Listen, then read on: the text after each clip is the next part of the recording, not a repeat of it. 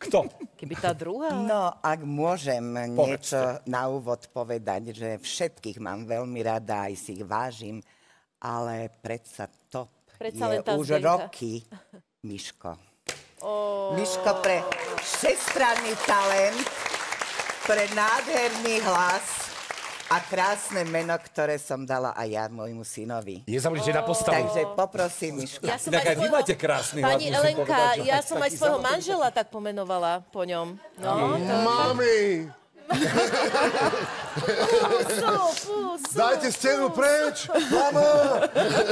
Poďte, To- pozrite sa. toto bolo krásne Takto, vyznanie. ďako, ďakujem. To bolo pekné vyznanie. To bolo veľmi pekné. Až ma to dojalo. Ja mám len slabú slzivosť, ja mám naozaj syndrom suchého oka. Úplne vážne, ja sa nedokážem veľmi... Ty, sa, ty plačeš dovnútra vlastne. Ja mám niekedy syndrom suchého humoru.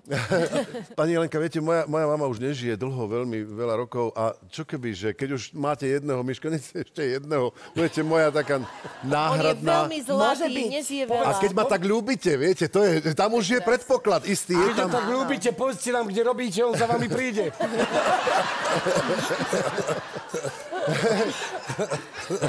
Na záver. No dobre, a že či budeme veľa dediť, alebo nie? Do, nie, dobre, dobre, to sú už také. Ale mal ten Marcelko na začiatku pravdu, keď si povedal, že inkognito viac než len relácia. Viac No, než len tu Toto, Áno, viac než len jedna relácia. Vznikajú nové rodiny. Vlado predal dva byty v minulom inkognite. A, Ja neviem, či som hodný na adopciu. Ja, ale- tak som rada, že sme Miška takto upratali, Ma- ale Že